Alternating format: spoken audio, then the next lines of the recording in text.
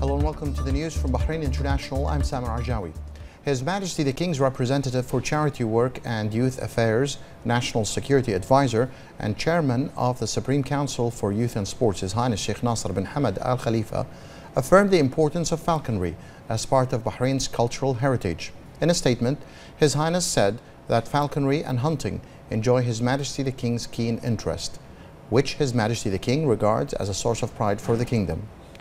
The words of His Highness were made at the launch of the sixth season of the Nasser bin Hamad Falconry Tournament. His Highness affirmed the importance of preserving falconry through such tournaments and praised their ongoing success. In addition to the tournament, registration opened for the Falconry Cup of the first Deputy President of the Supreme Council for Youth and Sports, President of Bahrain Athletics Association and President of the Bahrain Olympic Committee, His Highness Sheikh Khalid bin Hamad Al Khalifa. In the presence of the Vice Chairman of the Rashid Equestrian and Horse Racing Club, His Highness Sheikh Isa bin Salman bin Hamad Al Khalifa, and the Ambassador of the Kingdom of Saudi Arabia to Bahrain, His Royal Highness Prince Sultan bin Ahmed bin Abdulaziz Al Saud, the club organized the ninth race meeting of the season at the racetrack of the club in Rafah, Sakhir.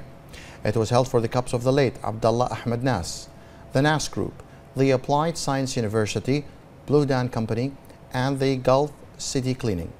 The race was also attended by Sheikh Sultanuddin bin Muhammad bin Salman Al Khalifa, Sheikh Hisham bin Muhammad bin Salman Al Khalifa, Sheikh Khalid bin Ali bin Isa Al Khalifa, the President of the Equestrian and Endurance Federation, Sheikh Isa bin Abdullah bin Isa Al Khalifa, Sheikh Nader bin Muhammad bin Salman Al Khalifa, Sheikh Nuh bin Muhammad bin Salman Al Khalifa, Sheikh Abdullah bin Rashid bin Isa Al Khalifa, Sheikh Muhammad bin Abdullah bin Isa Al Khalifa, and horse racing fans.